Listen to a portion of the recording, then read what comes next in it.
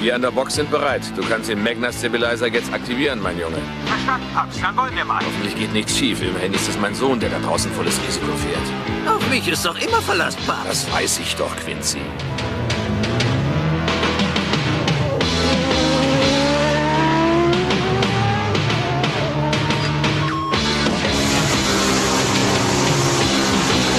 Der Magna Stabilizer ist aktiviert.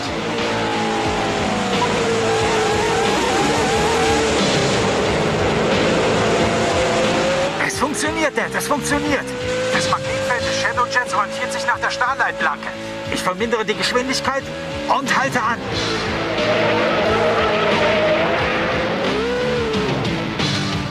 Es hat funktioniert.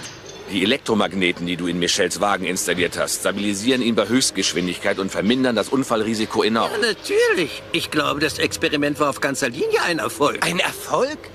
Das ist die Erfindung. Bist du dir im Klaren darüber, was deine Magneten für die Sicherheit bei Autorennen bedeuten? Frank hat ganz recht, Quincy. Wenn deine Erfindung in alle Rennwagen eingebaut wird, werden dadurch zukünftig Verletzungen bei potenziellen Unfällen auf ein absolutes Minimum reduziert. Das klingt recht vielversprechend, aber wir müssen mit Sicherheit noch eine ganze Reihe von Tests durchführen, ehe wir die Magneten serienmäßig einbauen können. Mag sein, dass du die Öffentlichkeit noch nicht unterrichten willst, Quincy. Aber ich bestehe darauf, dass die Magnete so schnell wie möglich in alle Vaillant-Wagen eingebaut werden. Und natürlich auch in die des Vaillant Stunt-Teams. Für die wohlwollenden Worte des Vertrauens bedanke ich mich herzlichst.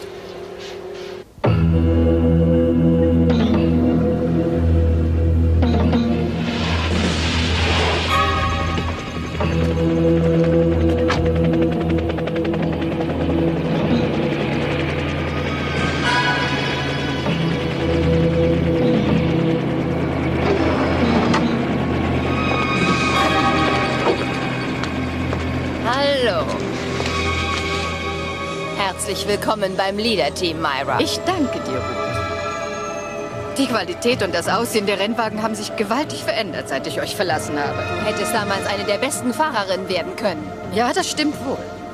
Lassen wir das. Ich möchte meine Tochter sehen. Steig ein.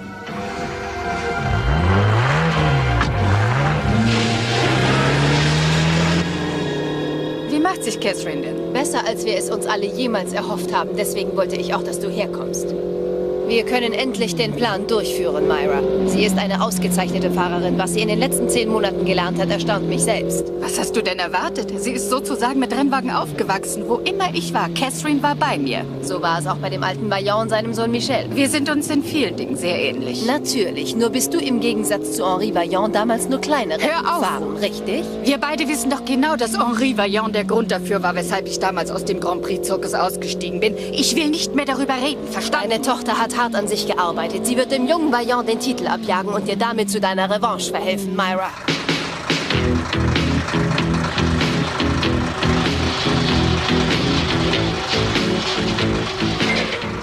Ist soweit. Der Shadow Sprinter fährt seinem Sieg beim Glendorian-Rennen entgegen. Wir sind nicht die Einzigen, die bei dem Rennen starten werden. Du sprichst ein wahres Wort gelassen aus, Michelle. Glendorian ist eine gefährliche Strecke. Besonders die Unterführung beunruhigt mich, Jungs. Dich beunruhigt doch immer etwas. Diese Unterführung ist 100 Yards lang, Michelle. Das sind 100 Yards, die von der Streckenkontrolle nicht eingesehen werden können. Und das weiß der Leader auch. Mach dir doch deswegen keine Sorgen. Wir passen schon auf, Paps.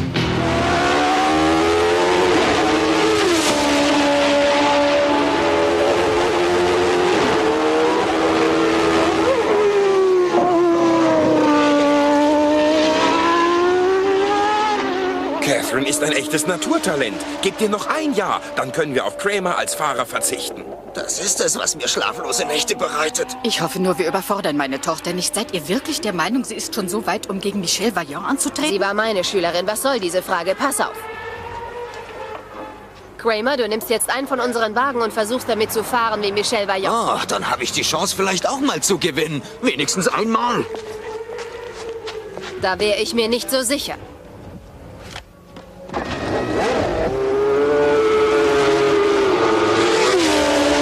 Catherine, du fährst jetzt gegen Ihm, was du kannst, Mädchen.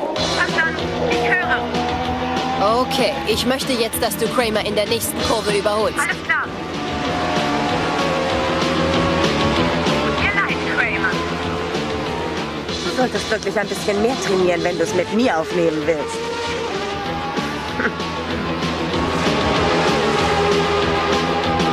Okay, Kramer. Versuch jetzt, Catherine in der nächsten Geraden zu überholen. Mit dem allergrößten Vergnügen.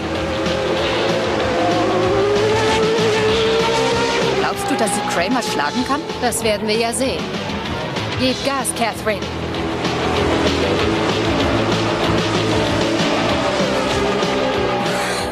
Sie ist gut. Sie ist wirklich sehr gut. Warte ab, bis du sie gegen Michel Vaillant fahren siehst. Du wirst erstaunt sein, wie das Rennen ausgeht. Du wirst mehr als überrascht sein, meine Liebe.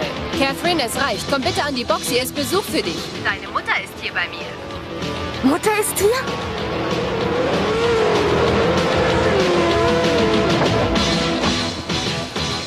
Catherine! Mutter, du bist hier? Ich kann's noch gar nicht glauben. Ich hab dich wahnsinnig vermisst. Ich freue mich so, dich zu Ich habe sehen. dich auch vermisst, mein Liebling. Ruth ist sehr hilfreich gewesen. Sie hat mir unheimlich viel beigebracht. Du warst eine fabelhafte Schülerin. War? Willst du damit sagen, dass du mich nicht weiter unterrichten willst? Du hast ausgelernt. Ich habe mit dem Leader gesprochen und wir sind der Meinung, du kannst jetzt das erste große Rennen für das Leader-Team fahren. Du wirst bereits morgen für uns beim Glendorian-Rennen an den Start gehen. Hast du das gehört? Mutter, das ist die Chance, auf die wir so lange gewartet haben. Ich werde gegen Michel Vaillant gewinnen und ihn und seinen Vater wie zwei Trottel aussehen lassen. Ich bin überzeugt, das wird dir gelingen, mein Kind. Darauf kannst du dich verlassen. Und ich werde dich rächen. Und ich werde nichts von dem vergessen, was du mir beigebracht hast. Das ist sehr gut, Catherine. Du hast das Zeug, Michel Vaillant zu besiegen. Und ich bin fest davon überzeugt, du wirst es diesem Großmaul ein für alle Mal zeigen. Henri Vaillant wird für alles bezahlen, was er meiner Mutter angetan Das hat. ist genau, was wir wollen, Catherine. Gerechtigkeit und Wiedergutmachung für deine Mutter. Ja.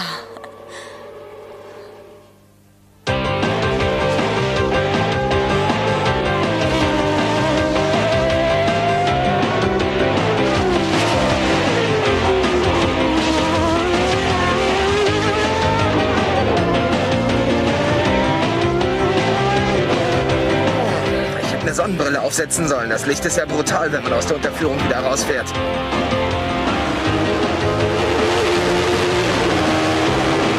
Aber jetzt auf der Geraden wird Gas gegeben.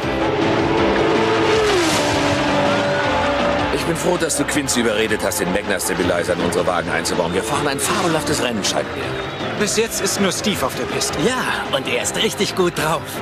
Wenn er weiter so einen heißen Reifen fährt, trete ich noch in seinen Fanclub ein. Hey, dann hat er ja schon zwei Mitglieder. Das wird ihn bestimmt sehr glücklich machen, Michel. Wieso denn zwei? Ach, das zweite Mitglied bist wohl du. Ich gründe auch für dich einen Club. Ach, lass es lieber bleiben. Ich werde jetzt mal ins Geschehen eingreifen.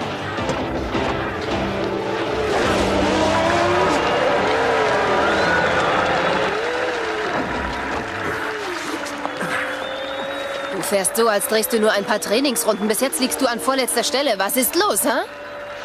Du kennst diese Unterführung nicht. Es ist stockdunkel da drin und man verliert die Orientierung, wenn man da wieder rausfährt. Das passt zu dir, Fox. Du hast Angst vor Dunkelheit. Lächerlich.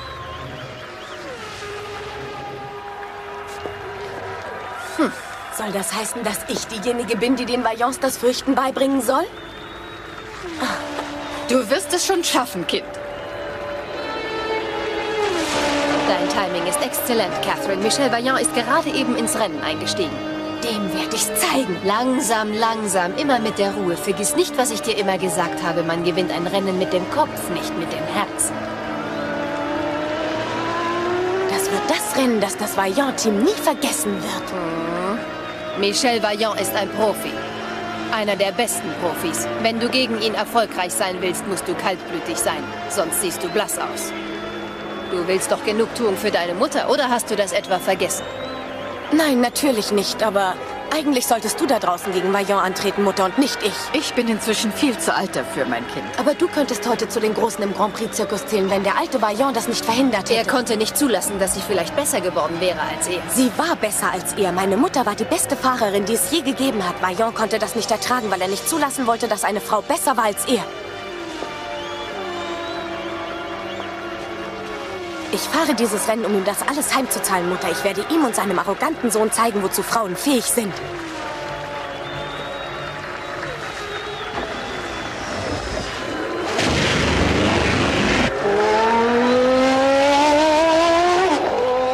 Ich hoffe nur, du hast sie gut auf dieses Rennen vorbereitet. Der einzige Weg, Henri Vaillant zu demütigen, ist hart und steinig, aber wir sind ihn gegangen.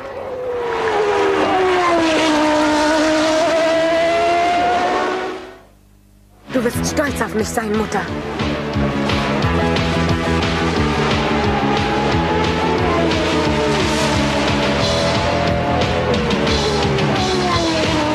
Wer fährt eigentlich den Wagen des Leader-Teams? Er ist auch immer sein Marke, er ist gut.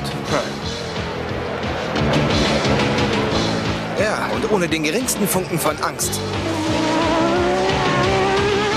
Hallo, wer ist denn das? Sieht fast so aus, als hätte das Leader-Team einen neuen Fahrer eingestellt. Mal sehen, wie flexibel er ist.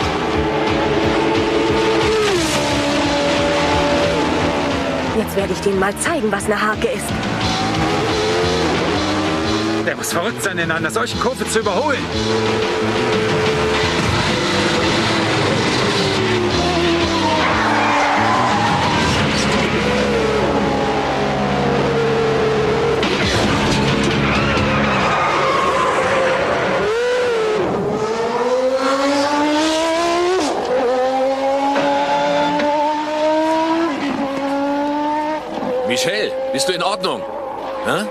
Dich beinahe überschlagen. Ich bin okay, aber dieser neue Fahrer vom Leader-Team sollte besser mal eine Lektion in Fairness nehmen. Hat er etwa die Rennlizenz im Lotto gewonnen? Reg dich ab, Frank. Immer mit der Ruhe. Niemand fährt absichtlich gegen die Leitplanke. Das ist ganz sicher ein Versehen gewesen.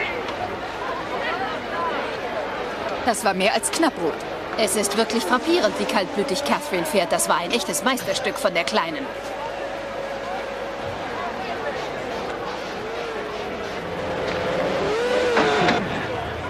Das hast du einfach großartig gemacht. Ja, aber mir schien, ich habe die Kurve etwas zu schnell genommen. Das würde ich nicht sagen. Vielleicht bist du nur noch ein bisschen zu nervös gewesen. Du wirst sehen, morgen geht es schon viel besser. Ja, sicher. Ha. Darf man einen kleinen Besuch abstatten? Was wollen Sie hier, Vaillant? Ich möchte Ihren neuen Fahrer kennenlernen und ihn fragen, aus welchem Grund er mich in der Kurve attackiert hat. Ich gehöre zwar zu Ihrem Konkurrenzteam, aber es wäre mir unangenehm, wenn einer von Ihnen zu Schaden kommen würde.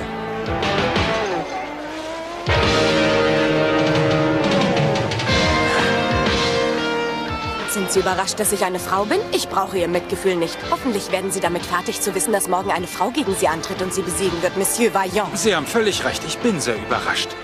Noch mehr überrascht mich allerdings, dass eine so hübsche Frau solche eiskalten Äußerungen macht. Bis dann. Viel Glück, Mademoiselle. Das ist also der sprichwörtliche Vaillant-Charme. Dieser Typ wird allerdings ein bisschen mehr als Charme brauchen, um morgen das Rennen zu gewinnen. Das steht auf alle Fälle fest. Schön zu hören, Kleines.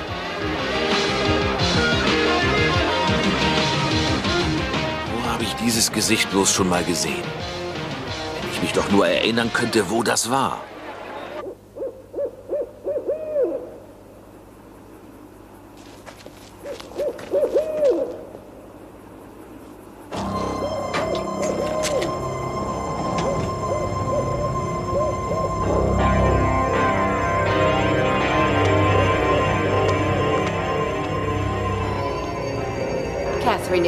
Geradezu vernarrt in diesen Wagen. Es ist doch jammerschade, dass sie ihn morgen zum letzten Mal fahren wird. Wenn ich morgen diese kleine ferngesteuerte Sprengladung zünde, wird die Lenkung leider versagen. Wie tragisch, dass das ausgerechnet passieren wird. Wenn sie mit Michel Vaillant auf gleicher Höhe ist, dadurch werden sie gemeinsam in den Rennfahrerhimmel schweben. Schade, dass sie beide noch so jung waren. Friede ihrer Asche.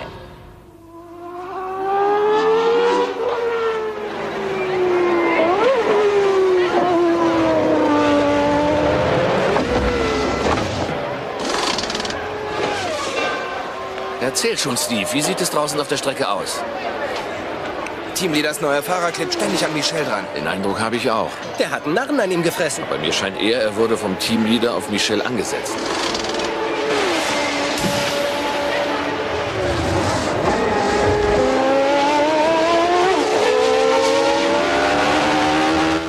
Ruth hatte recht. Michelle ist echt gut. Aber selbst er kann nicht durch einen anderen Wagen hindurchfahren. Dann wollen wir mal. Mich überholst du nicht, Vaillant.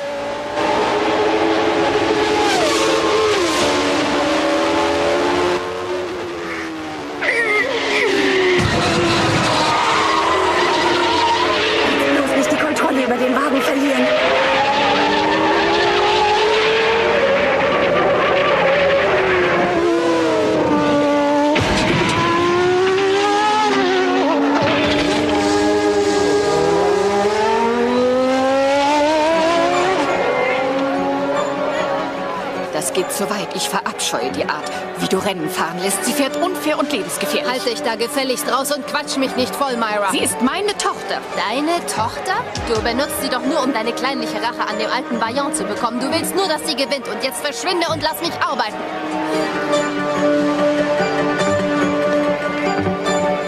Ich benutze sie für meine Rache an Henri. Ja, Ruth hat recht. Was habe ich nur angerichtet? Ich muss das schnellstens beenden.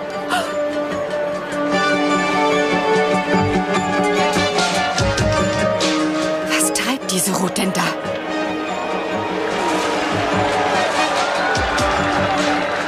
Sieht so aus, als wolle sie irgendwas fernsteuern. Ja, sicher, sie will Michelle aus dem Weg räumen. Und Catherine wahrscheinlich gleich mit. Fremde haben keinen Zutritt zu den Boxen des Leader-Teams. Sie müssen meine Tochter zurückrufen. Ich will mich nicht wiederholen, Ma'am. Verschwinden Sie.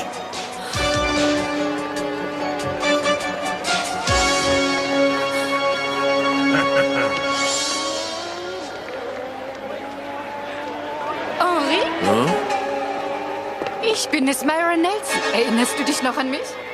Myra, ja, natürlich erinnere ich mich an dich. Aber was machst du hier in Glendorian? Ich habe jetzt keine Zeit, irgendwas zu erklären. Es geht Entsetzliches vor. Wir müssen versuchen, meine Tochter zu retten. Ihre Tochter fährt da draußen mit? Ruth versucht, einen Unfall zu inszenieren, in den auch dein Sohn verwickelt sein wird. Sie steht mit einer Fernzündung vorne bei den Liederboxen direkt an der Strecke. Michelle, hey! Ja, Papst, was gibt's? Ist was passiert? Ruth hat irgendetwas vor. Du musst die neue Fahrerin vom Leader-Team sofort warnen. Schnell! Sie das. Aktivier den Magnetstabilizer, Michelle. Zieh den Wagen an dich ran und dann nichts wie runter von der Strecke. Beeil dich, Michelle. Ihr habt nicht mehr viel Zeit.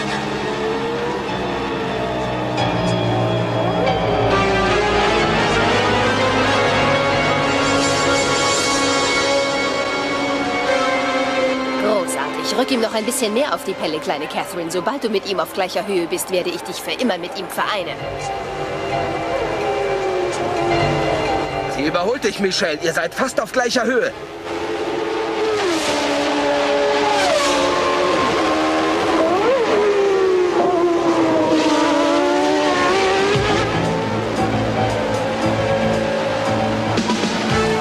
Der Magna Stabilizer ist aktiviert.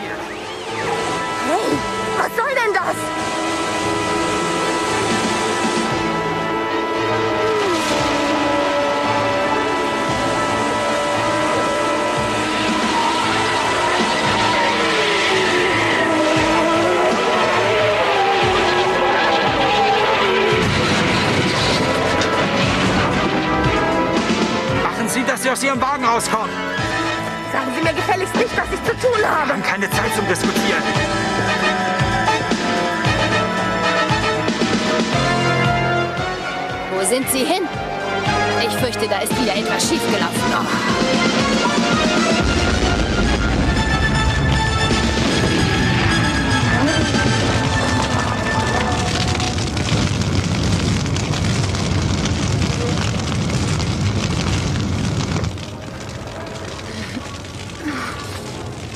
war denn das? Wer wollte mich denn da in die Luft jagen? Ihnen ist wohl noch nicht klar, wozu Ruth tatsächlich fähig ist. Aber ich hoffe, dass Sie es jetzt begriffen haben, Mademoiselle.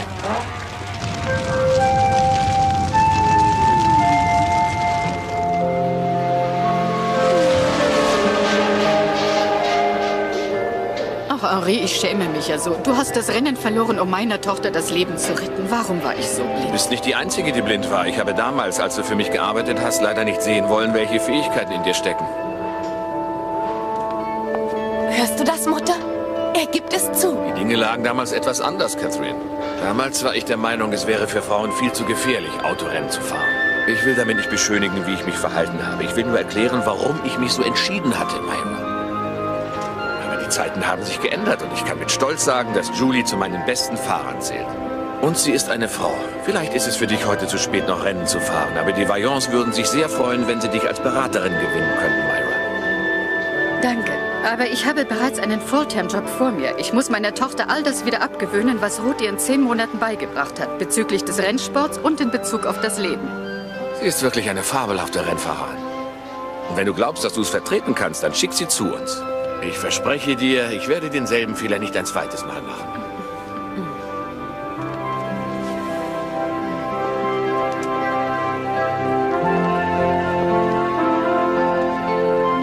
Ich bin glücklich, dass das alles noch ein gutes Ende gefunden hat.